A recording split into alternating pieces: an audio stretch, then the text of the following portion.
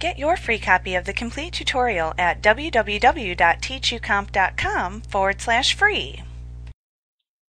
Macros are little programs that you can record that automate repetitive tasks for you. They are basically little programs. What a macro does is it records your keystrokes as you perform some sort of task routine and saves your keystrokes as a Visual Basic module, which is a type of small program. When you play back the macro later, it will repeat your keystrokes and thus repeat your actions.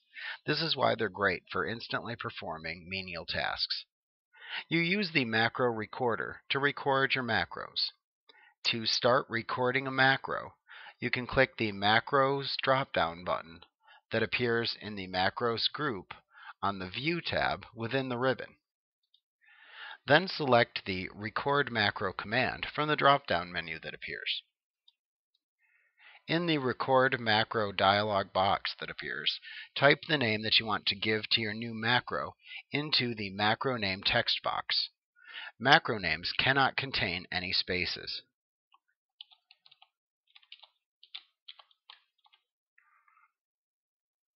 Note that you can also create a custom keyboard shortcut to use in conjunction with the Control key by typing the desired shortcut key letter into the text box next to the Control plus. If you decide to do this, make sure you don't overwrite an existing shortcut. For example, the shortcut character of P would be a bad choice, as Control plus P is already a keyboard shortcut for the print command. If you aren't familiar with the keyboard shortcuts, it may be better if you don't assign one. Next, select where you want to save the macro by choosing the desired macro file from the Store Macro In dropdown. If you do not change it, it will default to saving the macro into the global file. This is important because a macro can only be run if it is saved into an open project file or stored into the global file which contains the default project template objects. Next, you can type a description of the function of the macro into the description field. This is an optional step, but it can help clarify the purpose of the macro if the name is unclear. The types of cell references that you make while recording a macro can also be adjusted. If recording a macro using relative references, the movements that are recorded are noted in relative terms. For example, a macro that moves the active cell down one row, recorded in relative terms, will always move the active cell down one row from whichever row happens to be initially selected when the macro is run in the future.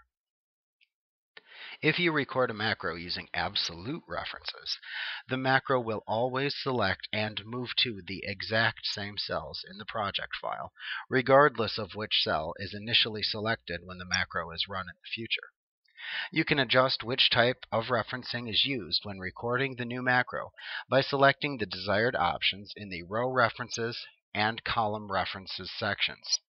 By default, macros will record using relative references for row references and absolute references for column references.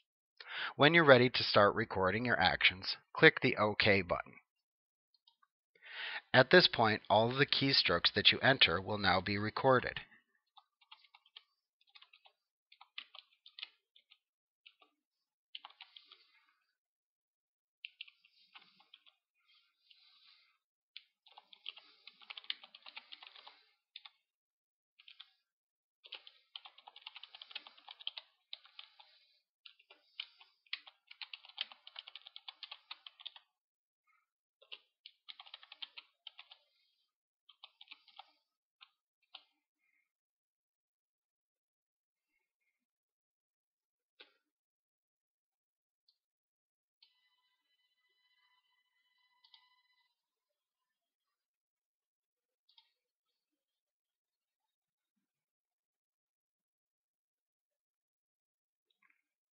Now be careful what actions you perform, as any mistakes that you make will also be included as part of the macro.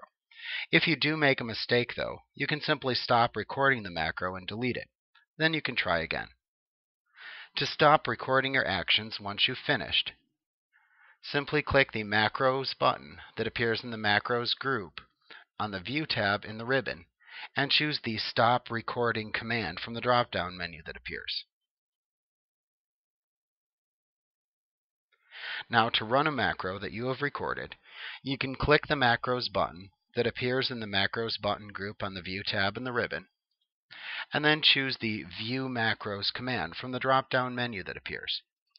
This will then launch the Macros dialog box.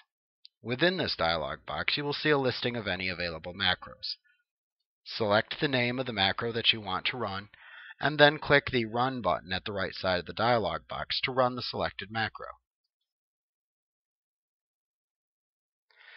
Finally, you can delete macros that you have stored in a workbook.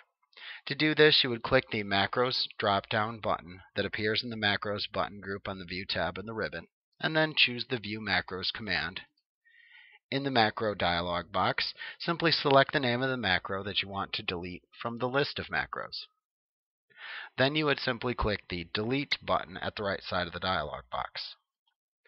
You will be prompted to confirm the deletion of the macro by clicking Yes in the pop-up window that appears.